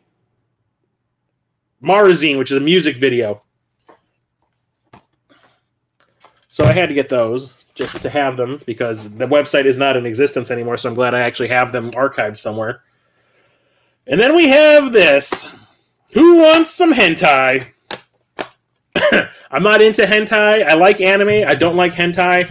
I have this because of the story behind when I watched it. And I've told this plenty of times in the past. I'll tell it again for the new people here that I know Peter's probably heard this before. So the the hentai is called Urotsukidoji. So when anime first started popping up in the early '90s in the U.S., me and my brother, my buddy Charlie, who was in that Star Wars fan film, uh, really heavily got into it. So we started off with Akira, and then ended up going to Fist of the North Star and Vampire Hunter D, Ranma One Half, um, uh, th- Three by Three Eyes, uh, The Guyver, and we just everything that was coming out, we were like, I got to see it, I got to see it, I got to see it. Perf- uh, what was it called? Perfect, not Perfect Blue. Um, Silent Mobius. All these things that were coming, out, we're like every single one of them we wanted to watch. So there was this comic shop near our homes that was getting all the new anime as it came out. So one day the two of us went there after work to see what was out, and this we saw this thing on the shelf called Urotsukidoji and it was, it was Legend of the Overfiend was the subtitle. Yep, Overfiend, hell yes. So we're looking at the box, and across the front it has this like strip that says absolutely not for children, and on the back it said that it was rated NC-17. That should not be viewed by anybody under the age of 17 because of like was like graphic adult themes and stuff like that. And, and immediately we're both kind of like, got to see it. It's NC-17. It's adult stuff. Let's go check it out. There's probably some sex in it. Oh, is there?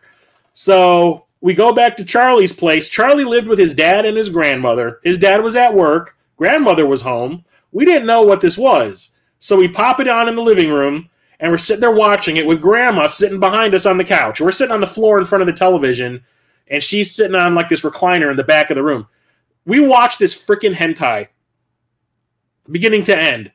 There's flopping demon dicks all over the place, shooting laser spooge, and like this teacher's jaw rips open and she has like a dick tongue and it like it molests a girl and it's like we're just like what is happening in this freaking movie it is nuts there's it's it's really uncomfortable to watch. There's like rapes and stuff going on in it. We were not prepared.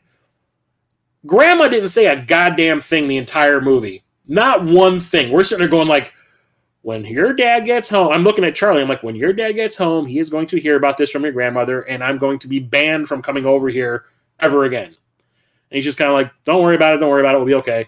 The movie ends. Grandma gets up, folds up the blanket or the, the quilt that she was using and puts it on the couch and goes and makes dinner.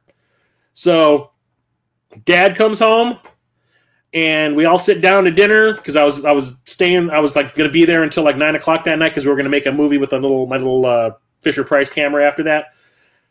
And uh, we're sitting down to dinner and I'm eating, Charlie's eating, his dad's eating, grandma's not eating anything. She's just sitting there looking at her food. And after about 10 minutes of this, Charlie's dad looks at her and goes, Graham, what's wrong? And she's just kind of like, I don't have an appetite. And he's like, Why? And she goes, You won't eat anything either if you've seen the things I've seen. And we all went, and I like was dr- taking a drink of whatever it was, lemonade or whatever, and I shot it out my nose. and I could not stop laughing. And Charlie's dad is like, "What? What's going on?" And Charlie's like, we, we watched an, a new anime today and it was a little adult. And he goes, What do you mean by like a little adult? And he's like, A lot adult. And he tried to describe what it was without saying that there was like triple dong demon wieners flopping around and shooting destructo laser jizz and stuff. So it was so funny. And naturally, when part two came out, we bought it, or I bought it, and we're like, well, let's not watch that one at your house. This one has the first two movies on it. There's four total. Uh, the first one is the longest one, Legend of the Overfiend. There's a sequel called the oh god, what is the second one? The Death the Death Rape Machine or something like that. And so we went to my house to watch it. And the way things worked at my house was we have it's a three level house, right? We have a TV with a VCR in the living room on the main floor, and then in the basement, there's another entertainment center with a TV and a VCR down there.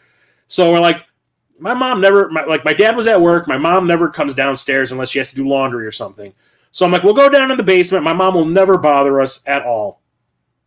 And guess what happens? We're in the middle of watching it, and my mom decides she's going to do some laundry. So there's this scene happening where these two demons are fighting while they're flying over the uh, the was it the San Francisco Bay, right. and one of the demons is a male, the other one is a female, and the demon the male demon has a three pronged wiener, and he's banging the female demon while they're flying through the air fighting. And there's an interior shot of her cervix, of her uterus, and you see the three dong dick just banging away. That's when my mom decides to walk downstairs to do laundry and see she sees this going on and she kind of like stops and like cocks her head. She's like, "What are you watching?" And I just like instantaneously, I'm like, "Children's programming," and she goes, "Whatever," and just goes and does the laundry and walks back upstairs. And I was like, "God damn." These movies are strange. They are very uncomfortable to watch sometimes, but I bought this because it the memory of the thing with the grandmother and my mom. They're not great.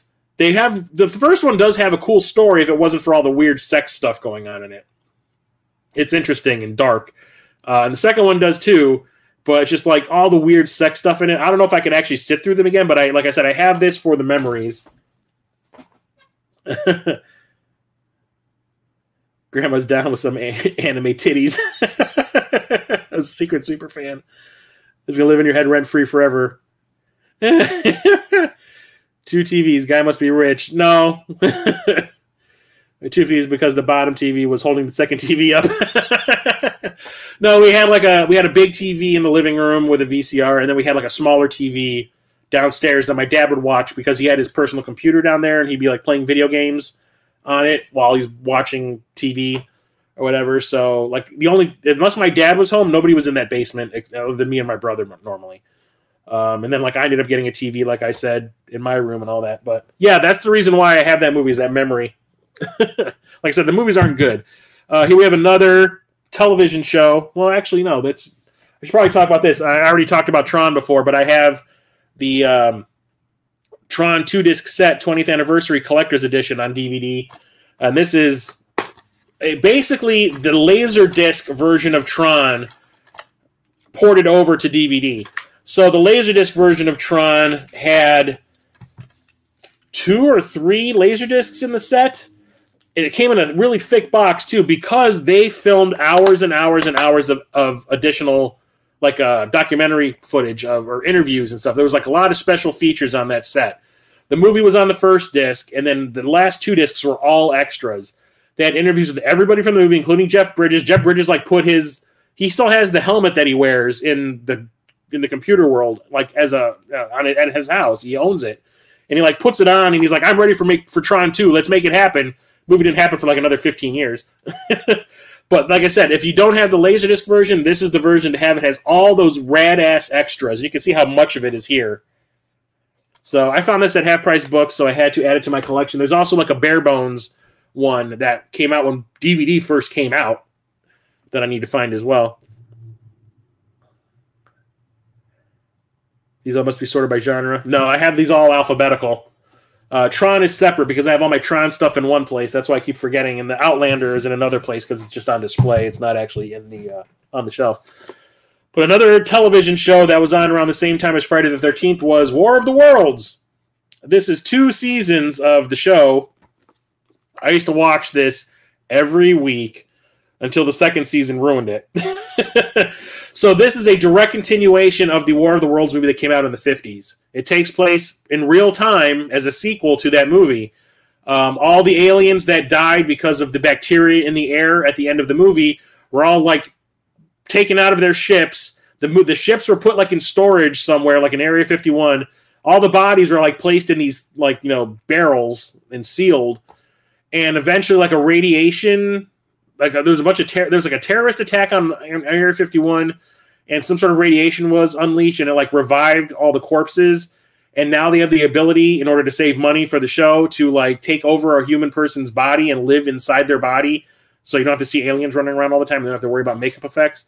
And there's like a team of it's almost like the X Files where there's like a team of scientists that have been tasked with tracking down all the missing aliens. And like get them back in those cans or kill them all before they try to take over the planet again. That's the first season. And the show's actually really, really fun. It's all the characters are really likable. Um, the, it's another one that's like this was actually shown like on Saturdays around like one or two p.m.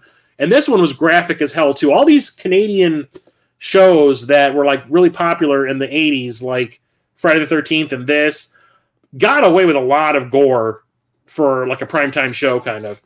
Uh, but I loved it. And then the second season, for some reason, they decided to revamp it and like set it in like a post-apocalyptic future after the aliens have already taken over. And there's a new version of the aliens out there, and there's like this big mother brain thing that controls them all, and it is just stupid. And the first season is the way to go. But the show is actually really fun. I like it a lot, and it still holds up. I a lot of these shows like Friday Thirteenth and War of the Worlds, I was really worrying that even though I liked them as a kid, I wouldn't like them as an adult. And surprisingly, they still hold up. So I'm glad that that is still pretty good, even though that second season is absolute crap. And the last thing I'm going to talk about tonight is Wicked Wicked. So I've never heard of it. I had never heard of this movie before um, until I went to there's a there's a movie theater like an old school movie theater that has like an organ and an organ player on the weekends um, there's a theater by me that, that uh, plays nothing but older movies on the weekends. They like I went and saw the original Psycho there. I saw the Birds there. Tippi Hedren was there when I saw it to like do a Q and A afterwards. Um, I saw Forbidden Planet there. But every Halloween they do a 24 hour film festival called uh, the Music Box of Horrors. All the movies are shown on film, back to back like it starts at noon on Saturday and it ends at noon on Sunday. And I have gone well, I haven't gone there the last couple years because it's been selling out before I can actually get a freaking ticket. But uh I want to say for like three years in a row I went. And one I think it was like the second year that I went, the one of the last movies they played, it was like Sunday morning around like nine in the morning. They played this thing called Wicked Wicked. And I like I said, I'd never heard of it before, but all the friends that I was with who had gone home around like midnight the night before to get some sleep, came back to the theater. I stayed the entire 24 hours. They came back to the theater because they wanted to watch this, and I think the last movie that year was Buffy the Vampire Slayer, the film. Uh, so what this is is kind of like watching Time Code, where that has like four movies playing at once. This is two movies at once. They call it Duo Vision. You can see right here. So it takes place in a hotel. There's like a murderer loose in the hotel and the murderer is targeting women and there's this lounge singer girl that the killer has now targeted. There's a couple of cops running around trying to find out who it is but they can't really stop the hotel from running because of the amount of people that are there. And so it's like you see the cops investigating at the same time you watch the serial killer going around doing his things on both screens. It's not like you're watching two there's a couple times where you see different angles of the same scene when people cross but for the most part, one of the screens is following the serial killer or the the uh, lounge singer, and the other one is following the detective as a, detectives as they are investigating. And it's actually really well made. It has uh, Armin Shimerman in it, who played Quark on Deep Space Nine. It's like one of the first movies he has, and he has this really weird looking mullet thing. He plays a a, a bellhop at the hotel, and it has one of the funniest deaths for a bad guy in a movie ever, where basically the cops have the killer cornered in the attic of the hotel, and there's an open window behind the killer, and the killer's sitting there going like, "If you, if you, uh, what was it? If you come at me, I'll jump, I'll jump." And I think he had the the uh, lounge singer like in a headlock. He's like, "I'll jump, I'll jump," and one of the cops goes, "Oh yeah, well I dare you," and he goes, "Oh yeah," and he t- lets go of the girl and turns around and just jumps out the window and like lands on a fence that like has like you know the spires on it that like shoot through his chest. And it's like we were like watching like what they thought that was a good ending. The guy just goes, "Oh yeah, you dare me? Fuck your dare!" Jumps. It's actually really entertaining and really good. And the the loud singer sings the "Wicked Wicked" title track on stage in the movie, and it's actually pretty cool. I like it a lot. Like we we're all curious about it because you know those gimmicky movies from like the '60s and the the '50s. You know they can be hit or miss. That one is actually one that really works. So. Your TV used to be a little more free with artistic license. That has changed. Just the same music on the radio tons of language you would not hear on the U.S. radio in the '90s and early 2000s. Oh, in Canada. Well, you guys had like those porn stations too in Canada in like the 70s and 80s, right?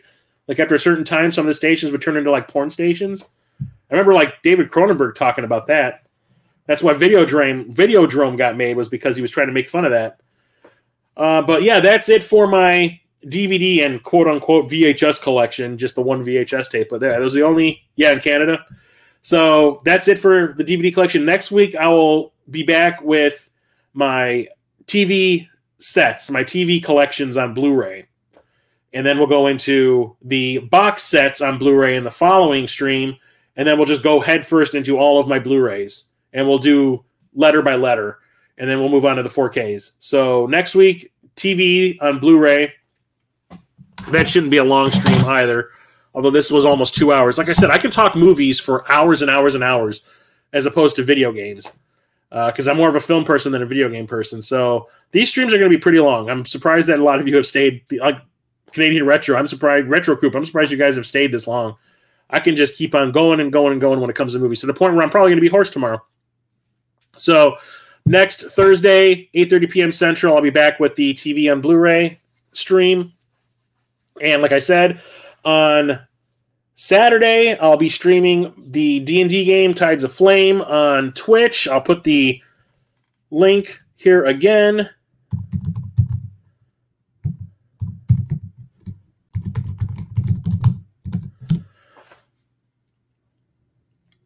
That's the link to my Twitch channel. Give it a sub. Uh, not a sub, but like a follow. You don't have to. I don't. You don't. Don't pay for it.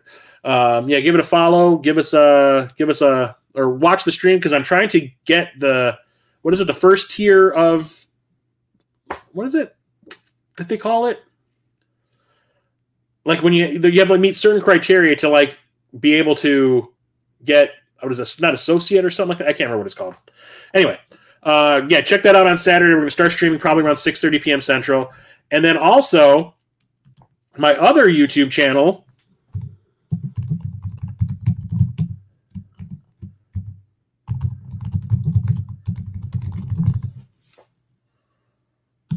do believe that's correct.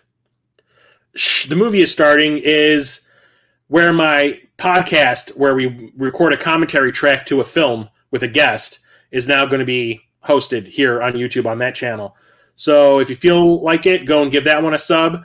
I've been releasing all the old episodes, and we're finally nearing the end of the current ones. We're like, I'm on season six. I'm uploading season six, and that's where we ended. And we are currently recording season seven right now. So once I have season seven or six uploaded completely, we'll start uploading the season seven new episodes. So check that out. Peter's been on it a few times. Uh, we gotta we gotta pick up a uh, or pick a new uh, extreme sports movie to watch because that's Peter's theme whenever he's on the show. We've watched Rad, Thrashing, Extreme Ops. We need a, another extreme sports movie to watch. is there one? Uh, is there one about rollerblades? Oh, we already watched Prayer of the Roller Boys, but I think that was more roller skates. Vertical Limit. Oh, there you go. Vertical Limit's awesome. I actually own that on Blu-ray. Spoiler alert. So, thanks for showing up and hanging out with me tonight, everybody. I really appreciate it. The fact that some of you showed up like for the entire stream is awesome. I will hopefully talk to you all next week. Or Airborne, we haven't watched that one yet. We haven't watched that at all. Seth Green on rollerblades. Oh shit. Thrashing we've watched. Uh, thanks for coming and hanging out. I'll talk to you all later. Stay safe out there, everybody. I'll talk to you next time. Chris of Midlife Crisis Media out.